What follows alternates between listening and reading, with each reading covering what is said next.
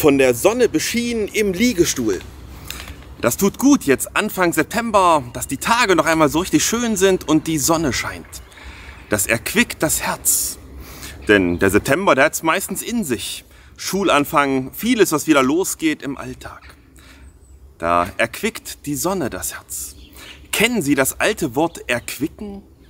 Man verwendet es kaum noch, aber es ist eigentlich ein sehr schönes Wort. Es gehört auch zu dem bekannten Psalm 23. Du erquickst meine Seele. Die Sonne erquickt mich gerade. Und ich lade Sie herzlich ein, mit der mobilen Kanzel hoch in den Harz zu fahren, um nach den Dingen zu schauen, die auch unser Herz erquicken.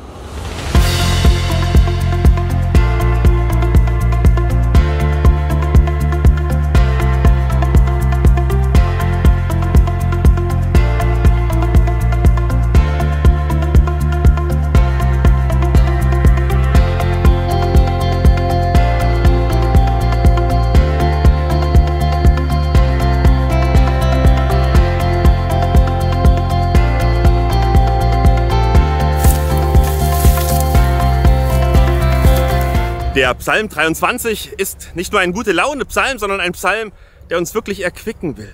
Auf Dinge weisen, die unserem Herzen, unserer Seele gut tun, manchmal in Stress, manchmal in Traurigkeit, manchmal auch im Alltag. Der Herr ist mein Hirte, so beginnt es, und dann er führet mich auf grüne Auen. Hier gibt es die goldene Aue hinter mir, die aber an vielen Stellen jetzt schon wieder langsam grün wird, dort, wo die Neuaussaat schon wieder durchkommt. Der Blick in die Natur, der erquickt. Hier in die Weite schauen, dort unten äsen Rehe. Man sieht die große Landschaft, das tut uns gut. Die biblische Sicht auf die Natur, sie würde sagen, Gottes Schöpfung. Uns gegeben, dass es uns gut tut und uns erquickt.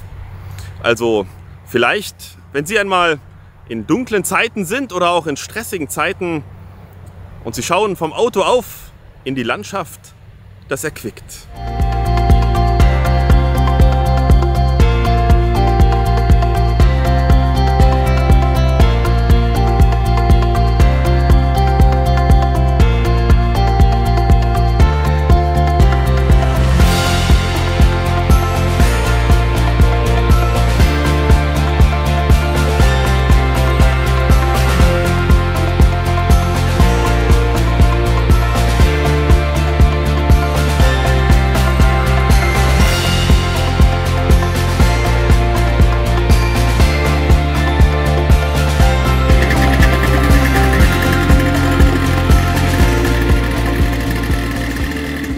Wenn man das alte Wort erquicken umschreiben will, dann müsste man vielleicht sagen, neu beleben, stärken, frisch machen. Das ist etwas, was wir Menschen brauchen. Im Psalm, 1, im Psalm 23, da wird das Erquicken mit den wunderbaren grünen Auen verbunden mit der Weite der Landschaft und auch mit den Wegen. Er führet mich auf rechter Straße. Wenn man aus Breitenbach den Hessenstieg Richtung Wolfsberg fährt, da begrüßt ein Wald einen Rastplatz. Rasten, erquicken, auf dem Weg sein. Auch Wege tun uns gut. Zu laufen, in dem Fall wie ich auch mal mit dem Roller, aber in Bewegung sein, die Natur in sich aufnehmen. Auch das erquickt unsere Seele. Also das Laufen und das Unterwegssein und im Laufen auch mit manchen Gedanken, was war, wie es ist, was uns beschäftigt. Und auch mit manchen Gedanken daran, dass wir nicht alleine gehen, dass jemand mit uns geht. Auch wenn man es manchmal gar nicht merkt und es Zeiten gibt, in dunklen Tälern, wo man es gar nicht spürt.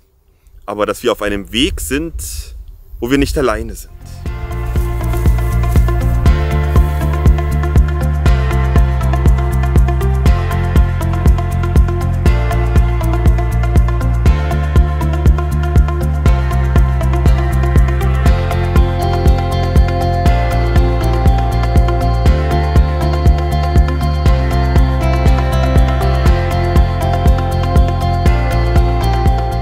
Wenn man hier dem Hessenstieg folgt und dann rein in den Wald Richtung Wolfsberg runter, dann ist es ein ziemlicher Einschnitt, es wird dunkel und es ist ein matschiger Weg. Nicht gedacht für einen Roller, wahrscheinlich eher für einen Geländewagen oder für jemand, der gut zu Fuß ist. Im Leben Da gibt es Wege, die uns erquicken. Aber manchmal werden wir auch Wege geführt, wo man sich nicht sicher ist, wie es weitergeht, warum etwas geschieht. Auch das ist Teil des Lebens, so wie es auch Teil dieses Weges ist.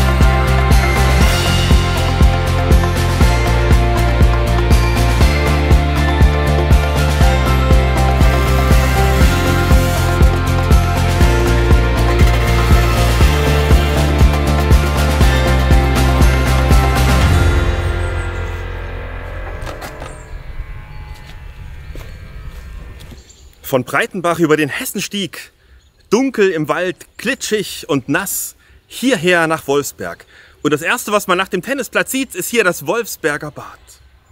Ein Weg zum Erquicken.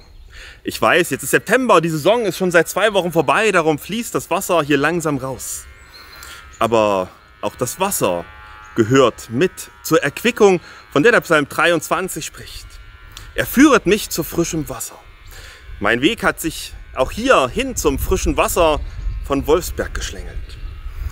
Der ganze Psalm, der über das Erquicken spricht, über das neue Kraft bekommen, das Auffrischen, das Belebtsein bei den grünen Auen, bei der Blick, beim Blick in die Natur, bei den Wegen, auf denen wir gehen, die wir geführt werden, auch in dunklen Tälern. Dieser Psalm, der dann am frischen Wasser ist, der beginnt ja mit diesen einfachen Worten, der Herr ist mein Hirte weil unser Gott uns erquicken will, mit uns geht, durch Zeiten, die gut sind oder durch Zeiten, die manchmal auch schwer sind. Unser Gott ist da. Ich freue mich von Herzen an der Natur hier an dieser Gegend zwischen Breitenbach und Wolfsberg, aber ich freue mich auch, dass ich einen Gott habe, der mit mir geht. Hoffentlich auch mit Ihnen. Bleiben Sie behütet. Sei behütet, sei behütet.